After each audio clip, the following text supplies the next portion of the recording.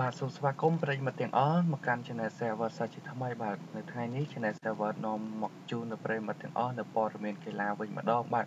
មកខាត់ពេលយូរយើងចូលទៅតាមតាមទាំងអស់គ្នាបាទវីរៈបុរស Man U និង Liverpool ជឿជាក់យ៉ាងមុតមមថាក្រុមមួយនេះនឹងលើកពាន Premier League នៅក្នុងរដូវកាលនេះបាទចង់ដឹងថាក្រុមមួយណាទៅយើងទៅតាមតាមទាំងអស់គ្នាបាទគឺ Premier League ទៅតែបើករដូវកាលផងដែរលោក James Carragher វីរៈបុរសក្រុមហង្សក្រហម Liverpool និងលោក Gary Neville អតីតកីឡាករឆ្នើមរបស់បិសាចក្រហម Manchester United បានបង្ហាញអំពីការយល់ឃើញរបស់ពួកគេតាក់ទងទៅនឹងក្រុមដែលនឹងក្រងជើងឯក Premier League នៅរដូវកាលឆ្នាំ2018ឆ្នាំ2019នេះក្រៅពីនេះកំពូល អ្នកវិភាគបាល់ទាត់នៅអង់គ្លេសទាំងពីររូបនេះក៏បានធ្វើការព្យាករណ៍អំឡុងក្រុមដែលនឹងត្រូវបញ្ចប់នៅក្នុងចំណាត់ថ្នាក់កំពូលទាំង6រួមទាំងអ្នកដែលសុទ្ធបញ្ចូលទីច្រើនជាងគេក៏ដូចជាកីឡាករដែលនឹងឈ្នះពានរង្វាន់កីឡាករល្អបំផុតនៅអង់គ្លេសក្នុងរដូវកាលថ្មីនេះផងដែរ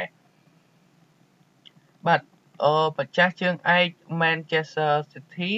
និយាយនៅក្នុងកម្មវិធី Monday Night Football របស់ទូរទស្សន៍ Sky Sport ក្រោយការប្រកួត Liverpool យកឈ្នះ Crystal Palace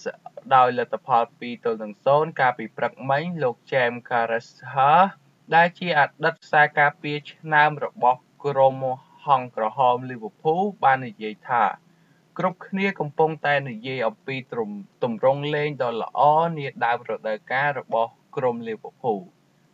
តែតើថា Man City វិញល្អដល់កម្រិតណាដែរពួកគេបានទៅកាន់ទឹកដី Arsenal ដែលជាក្រុមប្រជែងដ៏ធំមួយ ជាមួយនឹងជ័យជំនះដ៏ល្អរួចក៏ទទួលស្វាគមន៍ Huddersfield Town មកកាន់ទឹកដី Etihad Stadium ដោយជ័យជំនះដ៏អស្ចារ្យនោះគឺ6ទល់នឹង1ទៀតផងការប្រកួតនេះ Manchester City ប៉ះជាមួយនឹង Huddersfield Town ពួកគេ បាទគឺជាក្រុម Manchester Manchester City នេះគួរតែបាននាំមុខ2ទល់នឹង0ឬ3ទល់នឹង0នៅ5នាទីដំបូងនៃការប្រកួតទៅហើយ។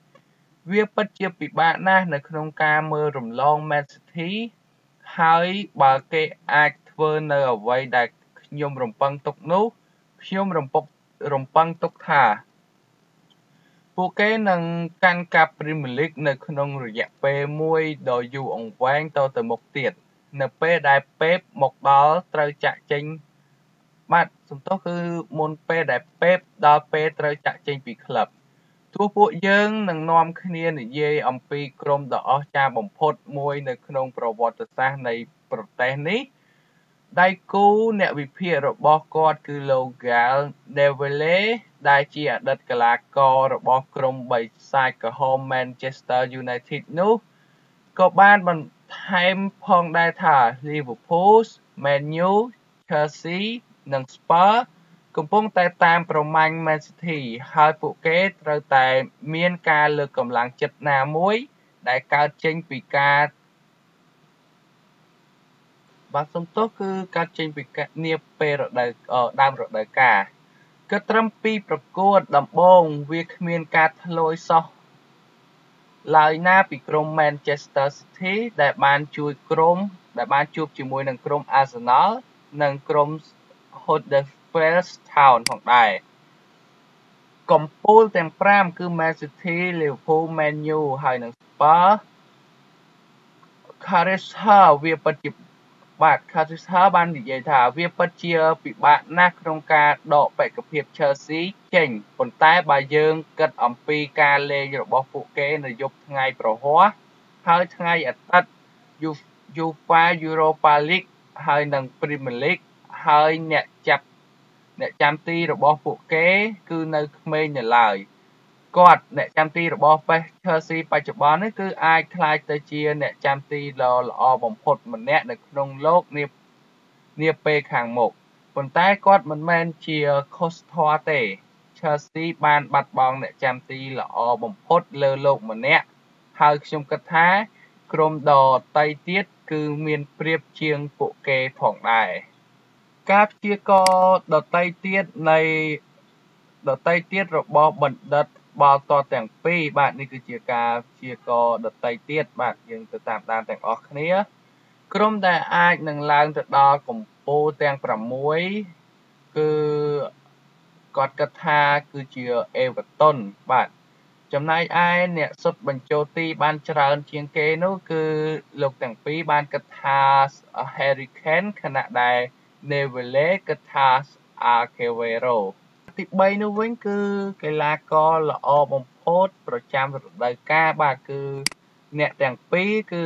យល់ស្របថាគឺជាកីឡាករម្នាក់ដែលមកពី Manchester City នោះគឺ David Silva អត់ចំណែកឯទី4វិញគឺកីឡាករវ័យក្មេងដែលនឹងលេចធ្លោខ្លាំងគឺ Karas Haas គាត់គិតថាជា Sessenon របស់ Fulham បាទគឺក្លឹប Fulham ខណៈឯ Nevertheless គិតថា Fernand Foden របស់ Manchester City ផងដែរ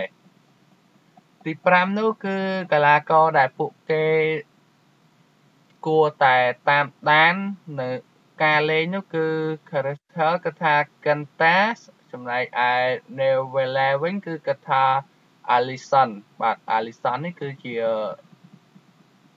អ្នកចាំទីរបស់ក្លឹប Liverpool ផងដែរបាទចំពោះព័ត៌មានកីឡាមួយនេះ Channel Server ក៏សូមបញ្ចប់ត្រឹមប៉ុណ្នេះបាទក៏សូមអភ័យទោសចំពោះការអានត្រង់ណាដែលមិនច្បាស់ឬក៏ខុសឈ្មោះកីឡាករណាមួយម្នាក់បាទ Channel Server ក៏សូមបញ្ចប់ត្រឹមប៉ុណ្នេះបាទសូមអរគុណសូមជួយ Subscribe ដើម្បីទទួលបានវីដេអូថ្មីៗបន្តទៀតផងបាទសូមអរគុណសូមជម្រាបលា